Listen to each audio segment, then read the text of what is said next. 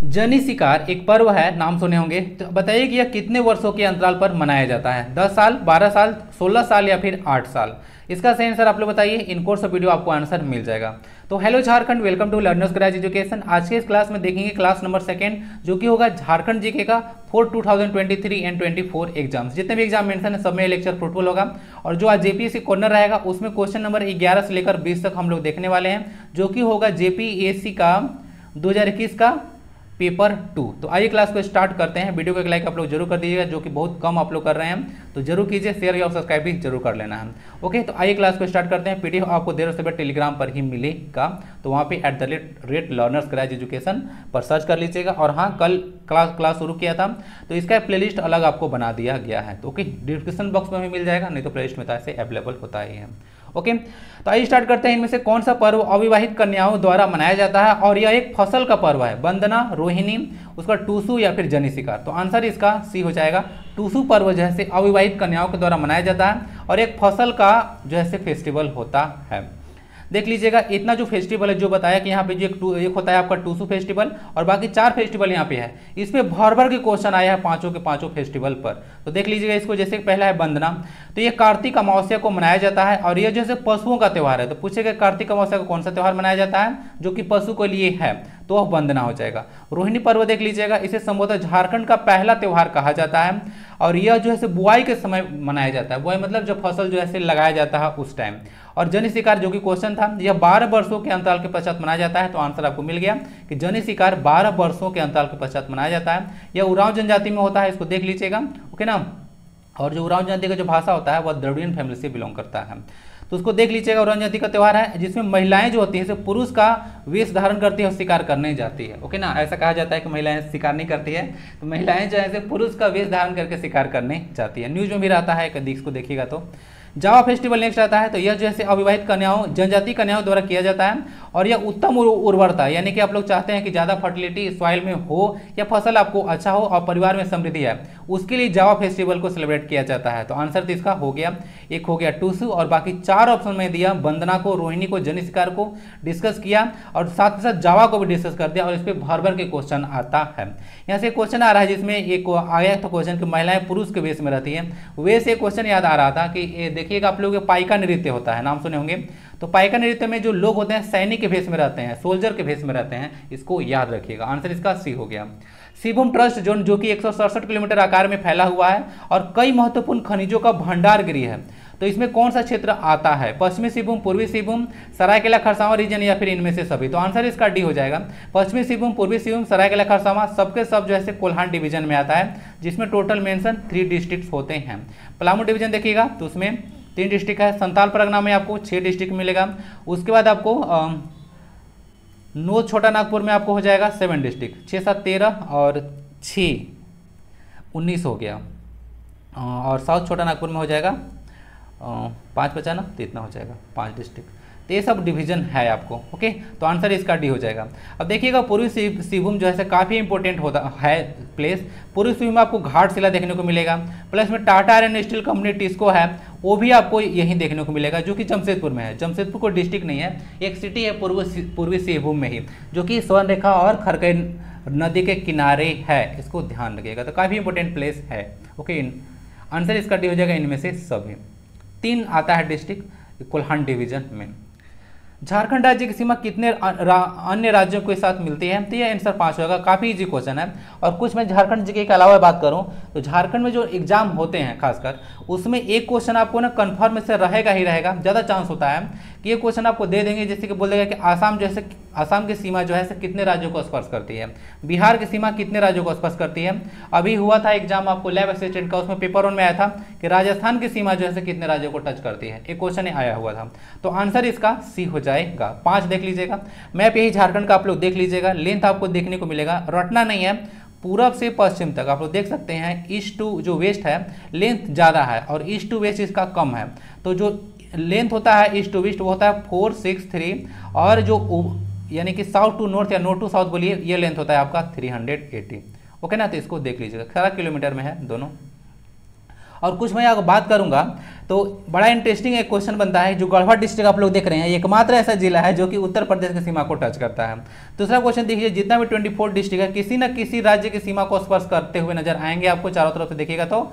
लेकिन दो डिस्ट्रिक्ट आपको यहाँ पे मिल जाएगा जो एक है खुंटी और एक है लोहरदगा।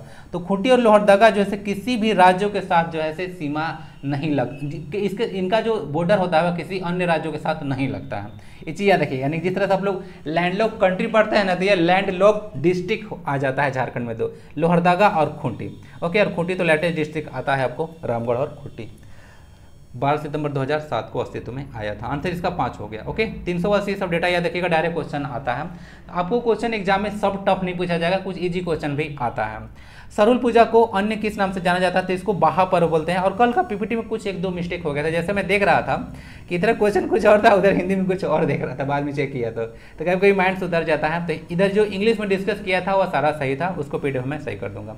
तो इसको बाहा पर्व बोलते हैं, सरुल पूजा को। सरुल पूजा को मैं डिस्कस कर दिया था कि इसको साल वृक्ष की पूजा की जाती है, जिसको सूर्य रोबस्टा के नाम से जाना जाता है साइंटिफिक नेम और कब होता है यह? तो यह चैत्र मास में चैत्र मास में मनाया जाता है जो कि शुक्ल पक्ष तृतीया को पड़ता है। आंसर इसका हो जाएगा बी बाहा। उलान बाहा नाम सुने हैं? एक बुक है ठीक है जिसका मतलब होता है अलंकार पुष्प। बाहा मतलब पुष्प होता है फूल।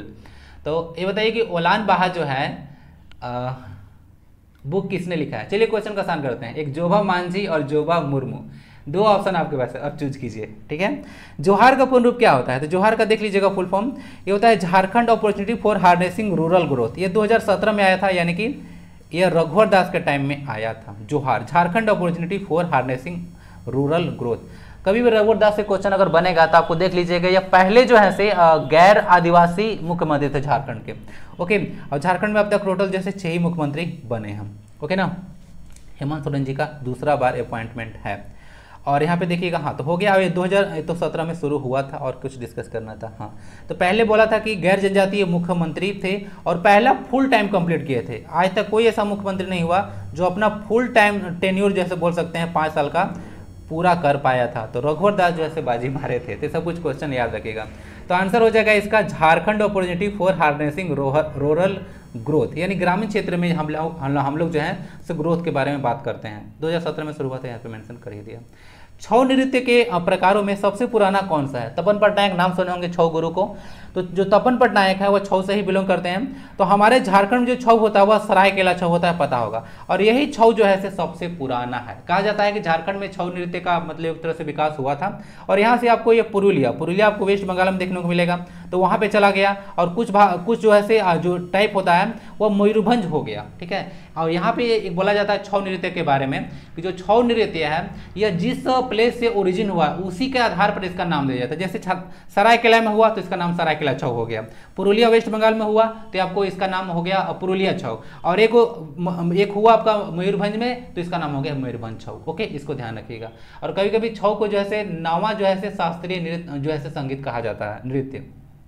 आंसर देख लीजिएगा। ऐसे तो आठ होता ही है। नवा छौ को ही कहा जाता है। राष्ट्रीय और अंतर्राष्ट्रीय ख्याति प्राप्त है। आपको देखिएगा छौ को। तपन पटनायक गुरु है, छौ गुरु। इसको, इनको याद रखिएगा। नेक्स्ट क्वेश्चन आता है। इनमें से कौन सा जिला पत्थर और बीड़ी उद्योग के लिए प्रसिद्ध है? लोहरदागा चतरा, पाकुड़ या फिर कोडरमा? आंसर इसका सी हो जाएगा पाकुड़। ओके तो पाकुड़ को देख लीजिएगा। पाकुड़ जिला के संदर्भ में देखिएगा तो यह इसका ना जो शिक्षा है, वह उसके मामले में सबसे नीचे है, यानी कि इसका यहाँ का लिटरेसी रेट सबसे कम है। और सबसे ज़्यादा पता है ऑब्वियस बात है, दिमाग लगे तो पता चल जाएगा, रांची का लिटरेसी रेट सबसे ज़्यादा है डिस्ट्रिक्ट का और ऐसे झारखंड का टोटल देखिएगा literacy rate sixty six point four one percent है। इसको देख लीजिएगा। कोडरमा को भारत का अवरक राजधानी के रूप में जाना जाता है, और कोडरमा स्थित जो तिलैया डैम है, उन्नीस सौ तिरपन में, बराकर नदी बनाया गया था। डीबीसी के तहत निर्मित निर्मित यह पहला डैम था। इसको याद है कोडरमा में। और लोहरदगा ज़िले का जो है जनसंख्या सबसे कम होता है। लोहर जगह है जो जनसंख्या के मामले में सबसे कम होता है। ओके ना? चलिए। लोहरदगा पर एक क्वेश्चन में वहाँ बताया था कि एक लैंडलॉक डिस्ट्रिक्ट है। तो यह देखिएगा पाकुड़ है। पत्थर और बीड़ी उद्योग के लिए यह प्रसिद्ध है। और यहाँ का जो बोल सकते हैं लिटरेसी रेट है, सबसे कम है। सबसे ज़्यादा रांची का है। और पूरा झारखंड का sixteen sixty six point four one percent है। इनमें से कौन एक चित्रकला की शैली नहीं है? क्वेश्चन देखिए इस तरह से आपको भर भर के आता है। बोल देगा, कौन नृत्य नहीं है, कौन चित्रकला नहीं है, कौन सा प्लेयर है हॉकी से नहीं है, कौन एक धनुर्धर नहीं है, जो क्लास क्लास में डिस्कस किया था, कौन प्लेयर झारखंड का नहीं है, ठीक है? या इनमें से कौन सा प्लेयर झारखंड का है? इस तरह से छाटने के लिए क्वेश्चन आ जाते हैं। तो इस तरह के क्वेश्चन में क्वेश्चन है, चित्रकला की शैली नहीं है। तो उराव भित्ति चित्र है, जादो पटिया है लहसुआ है, और फिर संथाल भित्ति चित्र है। तो लहसुआ एक तरह का नृत्य होता है, न कि यह एक पेंटिंग है। समझ गया? तो लहसुआ एक नृत्य है, डांस है। तो लहसुआ एक प्रकार का नृत्य है, जिसमें एक दूसरे का हाथ पकड़ के कतारबद्ध हो गए। यानी कि इस तरह से लाइन बना बनाकर सब जो है, हाथ पकड़ते हैं दूसरे का, और डांस आगे पीछे करके उधर से करते रहते हैं। इसे झूमर इस तरह से खेलते हैं उस टाइप से। तो आंसर इसका सी हो जाएगा, लहसुआ। एक नृत्य है, पूछेगा तो। पहला जनजातीय नेता जिन्होंने अंग्रेज़ों के विरुद्ध हथियार उठाया था तो आपको पता होगा, तिलका मांझी थे। ओके ना? चलिए। आंदोलन जो हुआ था तिलका मांझी के नेतृत्व में हुआ था, सत्रह में तिलका मांझी विद्रोह। ये सब डेटा आप लोग नोट डाउन कर सकते हैं क्या इन्फॉर्मेशन डाला गया है, नहीं नहीं डाला गया तो इसको नोट कर लीजिएगा। तिलका मांझी जो है से सत्रह में विद्रोह किए थे और तिलका मांझी को झारखंड का जो है से पहला क्रांतिकारी होने का और शहीद होने का गौरव प्राप्त है। और तिलका मांझी को देखिएगा, अभी तो झारखंड अलग हो गया। पहले भागलपुर यूनिवर्सिटी जो है उन, उन्हीं के नाम पर है तिलका मांझी के नाम पर है, ओके? और बाकी बुद्धू भगत को देख लीजिएगा, कोल विद्रोह के नेता थे। कोल विद्रोह के कोल लोगों को लड़ाका कोल के नाम से जाना जाता है। जेपीसी कॉर्नर में क्वेश्चन आने वाला है। तो आंसर इसका हो जाएगा तिलका मांझी बुद्ध भगत को देख लीजिएगा, कोल विद्रोह के नेता थे। और बिरसा मुंडा जी के बारे में तो बहुत बार डिस्कस कर चुका हूँ। स्थान के आधार पर बेमेल कौन सा है? दसम जलप्रपात सदनी है जोना है या फिर पंचघाग है? तो यहाँ पर आपको जितना भी है क्वेश्चन तो गड़बड़ हो गया, थोड़ा चेंज करना था इसको। क्वेश्चन चेंज करना पड़ेगा। बेमेल नहीं है। इसमें कुछ और डालना पड़ता है। एक, इसमें ऑप्शन को अगर यहाँ पे इस दोनों ऑप्शन में से कहीं इसी पर हुंड्रू कर देते हैं। चलिए तो इस ऑप्शन को हटा देते हैं और यहाँ पे हुंड्रू कर देते हैं तो तब आंसर हो जाए आपका डी हो जाएगा। देखिएगा जो दसम है, जोन्हा है, उसके बाद हुंड्रू फॉल है, सबके सब रांची में है, लेकिन ये जो पंचघाघ है ना पंच घाघ आपको देखने को मिलेगा खूंटी डिस्ट्रिक्ट में। तो बाकी से तो अलग यही ना हो गया। स्थान के आधार पर आपको बोला था तो आंसर इसका खूंटी हो जाएगा। यहाँ पे कुछ में डाला गया, देख लीजिएगा, जो दसम जलप्रपात है, वो रांची में है या कांची नदी पर है, याद रखिएगा, रांची में कांची ठीक है? हुंड्रू जलप्रपात है, रांची स्वर्णरेखा नदी पर है। जोन्हा जलप्रपात है, जिसको गौतम धारा के नाम से भी जाना जाता था और इसमें गौतम बुद्ध ने स्नान किया था। इससे क्वेश्चन बनता है, याद रखिएगा। अब यह रारू नदी पर है। पंचघाघ जैसे बताया, खूंटी डिस्ट्रिक्ट में है और बनई नदी पर है। बुढ़ा घाघ देख लीजिएगा, झारखंड का सबसे ऊँचा जलप्रपात है, एक मीटर इसका हाइट है। लाता है पड़ता है या बूढ़ा नदी पर है या कहीं कहीं उसको बुरहा नदी भी कहा जाता है। रजरप्पा वाटरफॉल रामगढ़ में देखने मिलेगा। दामोदर और भेड़ा नदी के कॉन्फ्लुएंस पर यह बनता है। ठीक है? चलिए, वहीं रजरप्पा का मंदिर है माँ छिन्नमस्तक के मंदिर, ओके ना? जिसको बावना शक्तिपीठ भी आप लोग कहते हैं। नहीं नहीं बावना शक्तिपीठ नहीं है। योगनी शक्तिपीठ होता है, उसको बावना कहा जाता है। आंसर इसका हो जाएगा पंचघाग इस क्वेश्चन को थोड़ा पीडीएफ में आपको सही कर दूँगा। इसको हटाना था और भूल गया माइंड से। लॉन्स नायक, एल्बर्ट टेकन जी के बारे में क्वेश्चन है कि मृत्यु किस युद्ध के दौरान हुई थी? तो आपको पता होगा जो इंडो पाक वार हुआ था 1971 जिसको बांग्लादेश मुक्ति संग्राम कहते हैं, और भूटान आइडेंटिफाई करने वाला पहला कंट्री था, कि अब जो है से बांग्लादेश एक नया कंट्री है। अल्बर्ट टेका देखिए, गुमला के पर्सनालिटी थे, और brigadier of the guards battalion संबंधित थे। क्वेश्चन आपसे पूछता है, कि जो अल्बर्ट टेका जो थे, उनको ब्रिगेडियर्स ऑफ़ द आर्ट्स मतलब किस बटालियन से थे? तो ब्रिगेडियर ऑफ़ द गार्ड्स याद रखिएगा। और गुमला में टांगिना धाम आपको देखने को मिलेगा, और बाघ मुंडा जलप्रपात गुमला में ही है। ठीक है, ये सब कुछ याद रखिएगा। बाकी सारा युद्ध भी देख लीजिएगा, जेके में आपको काम आ जाएगा, कारगिल युद्ध और भारत सिंधु युद्ध। इसको सीनो इंडियन वार भी बोलते हैं चैन चीन के साथ जो हुआ था, जिसके बाद आई आया था, आपको पता होगा। धनबाद स्थित मैथन डैम किस नदी पर है? तो जो मैथन डैम है, आपको देखने को मिलेगा यह बराकर नदी पर।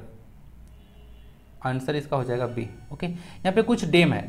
जब देखिएगा दामोदर वैली कारपोरेशन, जो कि भारत का पहला रिवर वैली प्रोजेक्ट था तो इसके तहत ना चार डैम जैसे झारखंड निर्मित किए गए थे। देख लीजिए यहाँ पे तिलैया डैम पहला था, क्वेश्चन पूछते हैं और अगर जेपीसी जैसे एग्ज़ाम में आपको अगर क्रोनोलॉजिकल ऑर्डर में लगाने के लिए आ जाए तो देख लीजिएगा चारों के चारों जैसे क्रोनोलॉजिकल ऑर्डर में मैं यहाँ पे लगा दिया हूँ। जैसे तिलैया डैम है कोडरवा में, दामोदर नदी बना है, जिसको पता होगा झारखंड की सबसे प्रदूषित नदी इसको कहा जाता है। और उन्नीस सौ तिरपन में हुआ था, ठीक है? तो आपको तिलैया डैम जो है सबसे पहला था, ये ध्यान रखिएगा। कोनार डैम दूसरा में हजारीबाग देखने को मिलेगा कोनार नदी पर। कोनार बराकर ये सब जो है से दामोदर नदी की सहायक नदियाँ हैं। मैथन डैम धनबाद में देखने को मिलेगा यह बराकर नदी पर है। और पंचायत डैम धनबाद में ही है और दामोदर नदी पर देखने को मिलेगा। और डेट देखिएगा इन लोग का तो आपको देखने को मिलेगा तिरपन यहाँ पे गड़बड़ हो गया थोड़ा सा 1955, उन्नीस और उन्नीस तो ये डेट है तो क्रोनोलॉजिकल ऑर्डर में लगाने के लिए आए तो आप लोग कन्फ्यूज़न नहीं होना चाहिए। मैच करने के लिए भी आएगा कौन सा डिस्ट्रिक्ट में है तो भी दिक्कत नहीं है। किस नदी पर है तो भी दिक्कत नहीं होगा। ओके आंसर इसका बी हो गया। और सोनरेखा नदी पर आप लोग देखिएगा यह चांडिल विद्युत परियोजना है ना? और इसको ना वर्ल्ड बैंक सपोर्ट कर रहा था, लेकिन हो हल्ला के चलते बोला कि नहीं भाई, हमसे नहीं हो पाएगा। तो सोनरेखा पर देख लीजिएगा, चांडिल विद्युत परियोजना है। अब इसको वर्ल्ड बैंक सपोर्ट कर रहा था। अब देखिए, आप देखिए जेसीसी जेपीएससी कॉर्नर हम लोग देखेंगे जेपीएससी पीटी 2021 का पेपर टू क्वेश्चन नंबर दस तक मैं पार्ट नंबर वन में कवर कर चुका हूँ। What are the two forms of Karma dance Karma dance का दो प्रकार कौन सा है? तो खेमटा और भेनुसारी दो टाइप इसका होता है। ओके तो इसको याद रखिएगा। कहीं कहीं आपको झुमरी भी देखने को मिलेगा। आंसर इसका डी है। कर्मा के बारे में देख लीजिएगा, इसको ना हल्दीना उसको कोडीफोलिया या फिर एडिना कोडीफोलिया जो है से बोला जाता है इसका साइंटिफिक नेम जो कि एक वृक्ष है और रूबियासी या कुल का आता है। साइंटिफिक नेम आपसे पूछा गया था तो आंसर आपको मिल चुका है। ठीक है? कर्मा आपको बताया था पर्व, भादो मास में मनाया जाता है। ओके जिसमें बहुत ज़्यादा कादो रहता है। समझ में आता है कादो? Where in Jharkhand can you found Ram Rekha Dham काली तो डिस्कस किया था जी which is famous I the place where lord Rama visited twice during his exile कितनी बार आए थे तो दो बार आए थे ये भी क्वेश्चन बन सकता है छोटा छोटा इतना छोटा छोटा डाल देंगे ना आप क्वेश्चन कंफ्यूज कर जाइएगा तो दो बार आए थे एक्साइल यानी कि प्रवास के दौरान तो वह है आपका सिमडेगा में पड़ता है बताया था लास्ट क्लास में कि सिमडेगा का जो है पॉपुलेशन डेंसिटी सब झारखंड में सबसे कम है 159 ओके आंसर इसका भी हो जाएगा तो दो बार आए थे तो राम रेखा है सीता चूल्हा भी आपको देखने को मिलेगा यहाँ पे हु कॉल्ड हो लड़ाका कोल इसको ना आपको देखिएगा, लड़का कोल या फिर लड़ाका कोल भी बोलते हैं तो ये जो हो जाएगा नाम एस आर टिकेल तो एस आर जो टिकेल थे, वही बोले थे इन लोग को, लड़ाका कोल ओके याद रखिएगा एस आर टिकेल कोल जनजाति को सॉरी होल जनजाति के लोगों को लड़ाका कोल बोला गया था. उसके बाद आपको देखने को मिलेगा मटूरा कहानी. तो Matura Kahani that contains folk stories of the Mundas was written by तो ये जो आपको देखने को मिलेगा, ये होगा मिनास ओरिया। तो मिनास ओरिया जो था, से लिखे थे आपको मटूरा कहानी। और इसमें वही है, जो, देखिएगा मुन्ना जाति में जो सर्वोच्च देवता है सिंह बोंगा तो उनका जो है से जो असुरों हैं, उन पर विजय के बारे में इसमें बोला गया है। तो मिनास ओरिया आंसर इसका हो जाएगा। Which christian priest is known for his commemorable work on Ram Katha. तो राम कथा पर काफ़ी जो काम किए थे, उनका नाम था फादर कामिल बोल के। आपको पता होगा ये बोला जाता है कि ये जो गुमला में जो थे वह पाँच वर्ष तक मैथ पढ़ाए थे। उसके बाद जब ऐसे यहाँ पे सेंट जेवियर्स कॉलेज में आए, ओके तो उसके बाद हिंदी, संस्कृत, ये सब का मतलब पढ़ाई वहाँ पे करवाए थे, सत्र शुरू करवाए थे।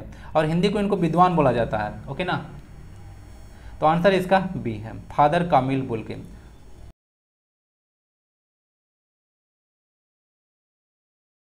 who is the author of book Dust Storm and Hanging Mist, a study of Birsa Munda and his movement in Chota Nagpur 1874 to 1901. Okay okay, इनका गाँव देखने को मिलेगा उली हाथू और चौहत्तर बोला गया है अठारह में इनका जन्म हुआ था बिरसा मुंडा जी का जो कि अभी गाँव खुट्टी में देखने को मिलेगा। तो ये जो बुक लिखा गया था वह है के सिंह तो काफ़ी इंपॉर्टेंट बुक है और एसी रॉ का मैं यहाँ पे आ, दो बुक बताता हूँ याद रखिएगा। The Mundas and their countries याद रखिएगा the Munda and their country है और द ओराम ऑफ़ छोटा नागपुर। तो दो बुक एस सी रॉय का है, शरद चंद्र राय इनका फुल नाम है। तो याद रख सकते हैं दो book, Mundas and their country और द ओराम ऑफ़ छोटा नागपुर। यही सब मैं नोट डाउन करने के लिए आपको बोलता हूँ। तो ये सब आप लोग नोट डाउन कर सकते हैं। आंसर इसका ये हो जाएगा। हु रोड द बुक उसका लिखा हुआ है जेसु चरिता। उसके बाद लिखा हुआ है चिंता मिने biography of Jesus Christ in Nagpuri in 1963 C तो ये आपको देखने को मिलेगा, उनका नाम था फादर पीटर शांति नौरंगी। तो यही था ईसु चरित्र चिंतामयन ईसा मसीह की जीवनी। उन्नीस में आया था। यह जैसे नागपुरी में लिखा गया था, फादर पीटर शांति नौरंगी के द्वारा। तो ये सब याद रख सकते हैं। अभी तो अभी ईस्टर फेस्टिवल भी सेलिब्रेट किए थे आप लोग, जिसमें ईसा मसीह जी का पुनर् जो है से जन्म हुआ था। पुनर्जीवित जो हुए थे उसके उपलक्ष्य में। Who is the author of Santhal Pargana district gazetteer published in 1910 तो L S S O'Malley इनका नाम है तो बुक है, संथाल परगना जिला गजेटियर के लेखक कौन है? तो आपको देखने को मिलेगा एल एस एस ओ मैली तो आंसर इसका बी हो जाएगा। The Birsa agriculture university at Kanke has the following facility which is the correct option तो बोला जा रहा है कि बिरसा जो एग्रीकल्चर यूनिवर्सिटी है, उसमें कौन कौन सा जो है फैसिलिटी देखने को मिलेगा? तो इसमें कृषि एग्रीकल्चर है, उसके बाद यहाँ पे एनिमल्स का और वानिकी यानी कि फॉरेस्ट्री तीनों डिपार्टमेंट आपको देखने को मिलेगा। ओके ना? बिरसा एग्रीकल्चर इस नाम लग रहा है तो लोग कन्फ्यूज़ हो जाएँगे कि सिर्फ़ और सिर्फ़ जो है कृषि ही होगा। लेकिन ऐसा नहीं है, कृषि के साथ चिकित्सा भी होता है, पशु चिकित्सा ओके ना? जो आपको, जो पशु होते हैं एनिमल का जो डी होता है, उसे होता है, और फॉरेस्ट्री भी यहाँ पे है डिपार्टमेंट तो आंसर इसका डी हो जाएगा, कृषि उसका पशु चिकित्सा और वानिकी सब जो है यहाँ पे ओके ना? और वानिकी सबसे लास्ट में आया था उन्नीस के आसपास। कांके में है, और कांके में तो पता होगा, पागल खाना भी है। और कांके से ही जो है कर्क रेखा गुजरती है। आप लोग मज़ाक उड़ाने लगते हैं। करेक्ट ऑप्शन को आपको मार्क करना है। National institute of foundry and forge technology at Ranchi was set up in the collaboration of तो इसमें यूएनडीपी और यूनेस्को हेल्प किया है। यूनाइटेड नेशन डेवलपमेंट प्रोग्राम और united national nations, education, scientific and cultural organization. दोनों मिलकर हमको help कर रहे थे यहाँ पे। क्या है? फाउंड्री और फोर्ज को डेवलप करने में टेक्नोलॉजी यहाँ पे देखिएगा तो बहुत ज़्यादा टेक्नोलॉजी से रिलेटेड है चीज़ है। ओके हैवी चीज़ का उत्पादन यहाँ पे किया जाता है रांची में। तो आंसर इसका हो जाएगा यूएनडीपी और यूनेस्को तो 20 क्वेश्चन कवर कर दिया जेपीएससी कॉर्नर का। और करंट अफेयर भी थोड़ा सा टाइम लग रहा है। मैनेज कीजिए एक दो क्लास ओके आपको मिलेगा। मिलते हैं फिर नेक्स्ट क्लास में वीडियो जैसा भी लगे आपको अच्छा बुरा, खट्टा, मीठा, बताइए ज़रूर। शेयर और सब्सक्राइब भी ज़रूर करें। मिलते हैं फिर अगले क्लास में। वंदे भारतम। जय हिंद।